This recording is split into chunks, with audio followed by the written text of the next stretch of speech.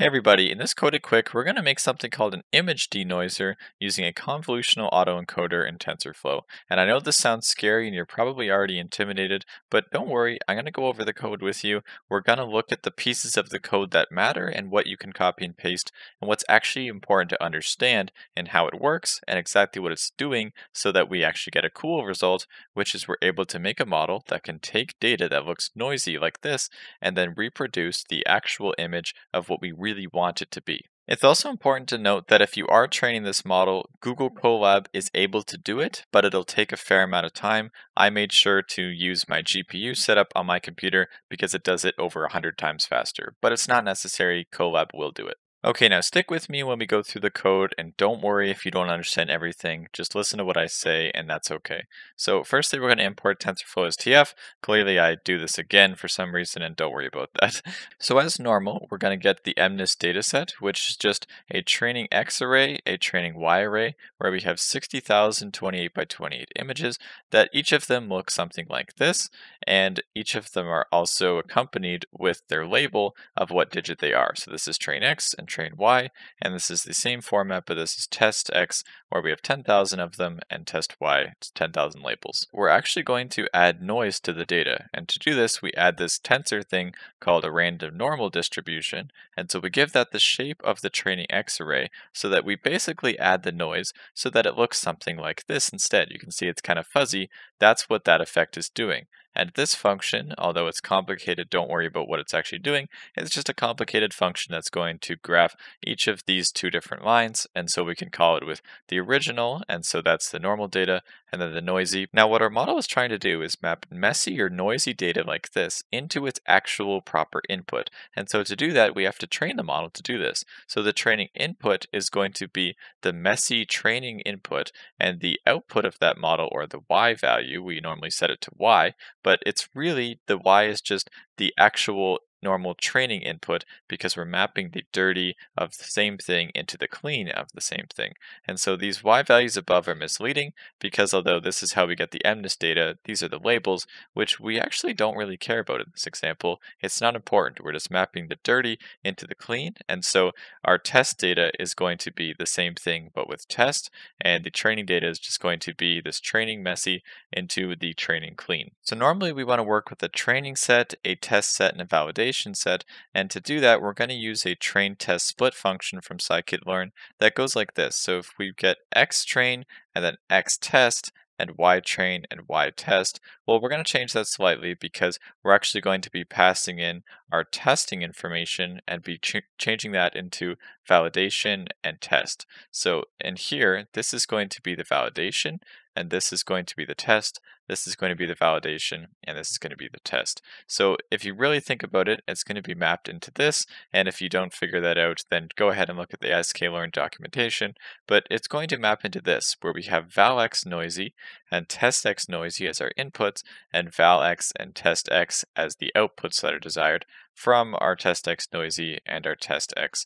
This is our input, this is our output. We map into these inputs and these outputs. If you didn't get that, please check the documentation. Now this piece is very important because we want to get the best model and to do this we want to make sure we monitor the validation loss. So here we're going to get a callback model checkpoint and we call it with these specific things which basically says keep saving to this specific file path, I called image denoiser, where we're constantly saving our model to this only based off of the lowest validation loss and we'll specify shortly how to actually measure that validation. Now here's where we actually make the model, and don't worry about the scary code, I'm going to explain the pieces that are actually important, and you can copy and paste what you need to do later.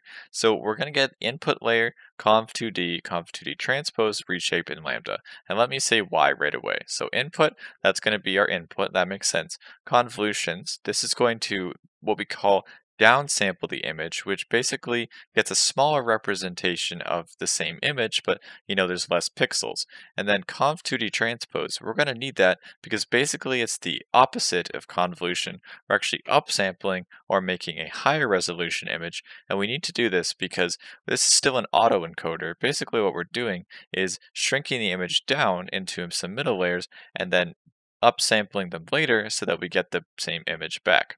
And we're going to reshape in Lambda just for some convenience functions here. We're going to need the model and sequential model as well as the mean squared error function. Okay, so what we do is we have two pieces. We have the encoder and decoder just like an autoencoder normally does. And a call function is simply going to be encode it and then decode it. Now what the encoder does is it takes our input, which is going to be a 28 by 28 image, and then we're going to basically extend that so we have 28 by 28 by 1 and reshape that.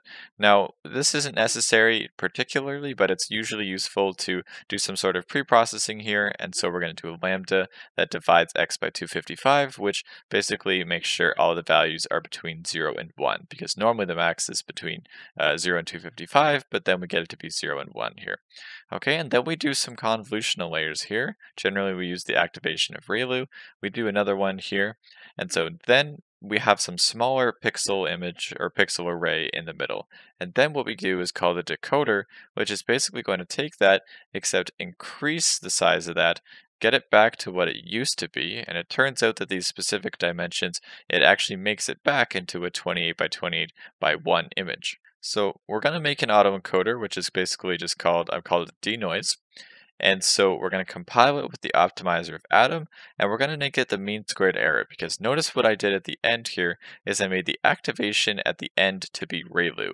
And this actually makes sense, because we want the values to be between 0 and 255, well I might as well make it ReLU, which is the max of 0 and the absolute value of x, and so that's going to make sure it has positive values. Linear here probably would have done basically the exact same thing. So we're going to make an autoencoder by compiling it with the Adam and use the mean squared error function, as well as fitting it with the train x noisy as our input. We're trying to map that to the clean train x. We're using the validation is going to be the validation is the noisy as the input and map that to the validation x. We want our callbacks to be that checkpoint from above to make sure that it's always saving this model only if the actual validation loss specified by this, uh, the mean squared error of this loss right here is lower than it used to be. Now again, this actually trains the model, and unless you're using a strong GPU, this is going to take a while, although on any machine, it's not horrendously slow for this particular example. So we see that the loss goes down and down, and don't worry too much about this, and sorry for the headache. Eventually we get it quite a bit lower, and we're going to get some loss, which is fairly low for our problem, and we'll find out that this is actually good enough. So we're going to summarize first the encoder part to show you again that basically all it's doing is creating a smaller and smaller image, and then what it's doing is calling the decoder and it makes it bigger and bigger until we get 28 by 28 by 1 again. So now what we're going to do is run the noisy test information through the model. And so we get test x denoised, which is the autoencoder, so that's its output, on the test x noisy.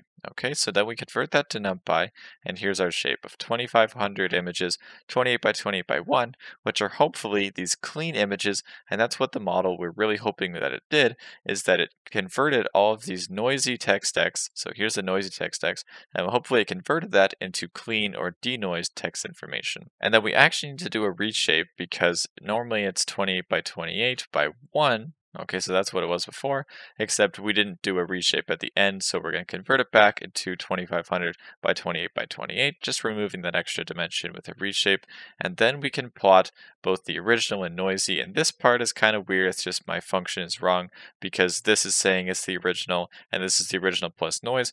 Actually, up the top here, this is the original, which is the noisy data, and so down here, it's actually the original, but denoised. So this is our result, is it actually took all of these noisy images that it hasn't seen before and it cleaned them up to make them perfect and nice and pretty. So that is the main point of an image denoiser. Don't worry if you didn't understand all of the code. It's really not a big deal. I have the code down below and hopefully you got the, the right idea of what this could be used for to clean images and just a good example of training a neural network to do something interesting. So uh, I have all the information down below if you want to check it out and I will see you in the next video.